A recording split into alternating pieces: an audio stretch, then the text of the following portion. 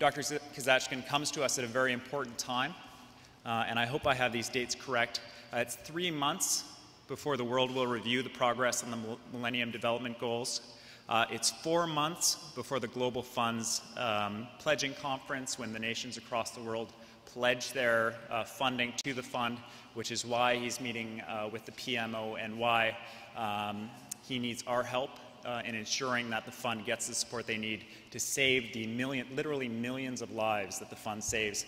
Um, and it is a great, great privilege to introduce him to you this evening. Please join me in welcoming uh, Dr. Kazatchkine.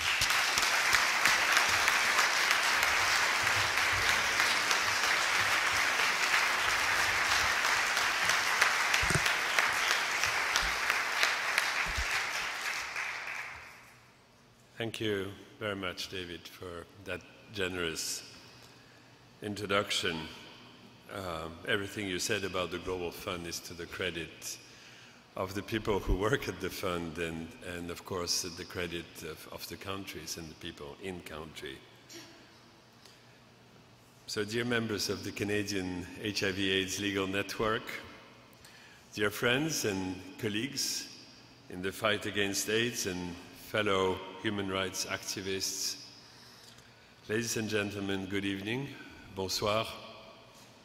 It's truly a privilege for me to be here.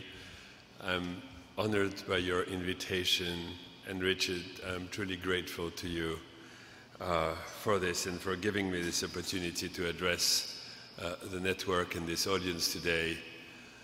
Um, I'm also, of course, thrilled to be here at the time when um, the announced winner of the award for action on AIDS and human rights um, tonight is, is, is, Ralph. I heard you, Joanne, I heard Richard, and I heard the words work, passion, inspiration, and truly there couldn't be a better choice for this award. Ralph has an extraordinary ethical record on all of his work, and now that we know each other so much better, I really every day discover how much he's a wonderful person and a wonderful colleague and a friend. So thank you and congratulations again, Ralph.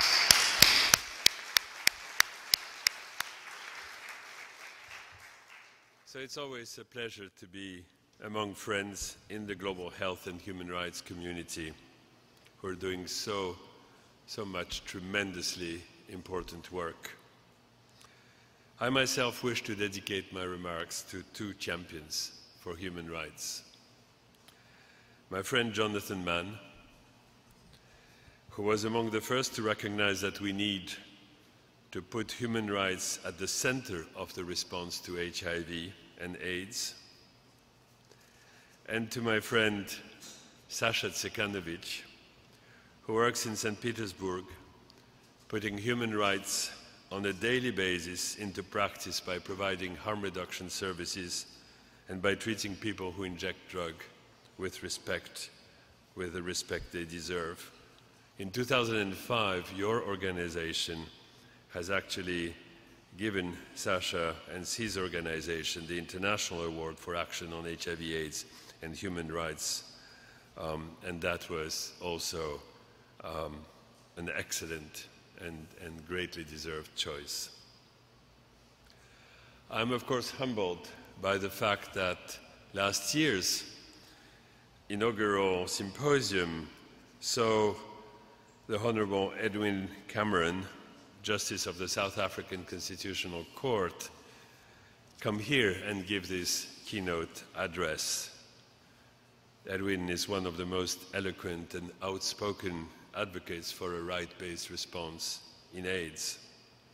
I vividly remember another speech that Edwin gave almost exactly 10 years ago, and that was at the International AIDS Conference in Durban, South Africa. And truly, only few moments in the history of the AIDS epidemic have been as pivotal as Edwin's plenary address at that conference. Edwin's speech helped bring the world's attention to the moral outrage of the failure to provide life saving antiretroviral treatment in much of the developing world where it was desperately needed. It built and supported on the advocacy efforts of other South African activists and laid a foundation for one of the greatest human rights victory in the fight against AIDS, that is the global rollout of antiretroviral treatment. Edwin spoke of how he grew ill with AIDS in 1997 and of his return to health thanks to combination therapy. Amidst the poverty of Africa, he said, I stand before you because I'm able to purchase health. He told the audience also, I'm here because I can afford to pay for life.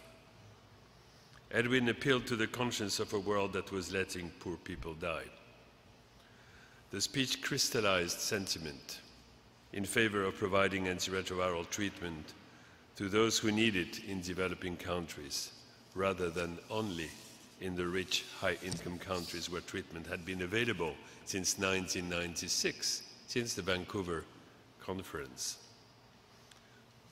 The broader global health and human rights movement to which Edwin's speech belongs has led to then important victories, and that includes price cuts in medicines, the UN Secretary General's Kofi Annan's call to action on AIDS, and ultimately the creation of the Global Fund to fight AIDS, tuberculosis, and malaria.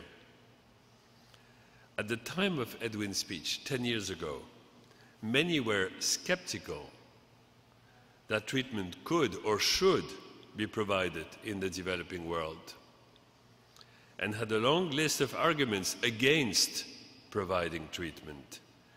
They said that making treatment available would be too expensive, that patients would not be able to adhere to treatment, leading to drug resistance, that the necessary infrastructure was lacking and could not be built, and that providing treatment would not be cost effective. In other words, it could not be done and would not be worth it. Ultimately, all of these claims were proven wrong. Ten years later, it is today 5 million people in low and middle income countries that are on antiretroviral treatment. And you've heard from David how fast this is progressing. We have made huge progress compared to where we were just five years ago, just one year ago. But in no way is there any room for complacency here. At least another five million people are still in the most urgent need of treatment. The world took action by establishing ambitious targets, such as providing treatment to 3 million people in developing countries by the end of 2005. Remember, 3 by 5. And subsequently, the goal of providing universal access to treatment, care, and prevention.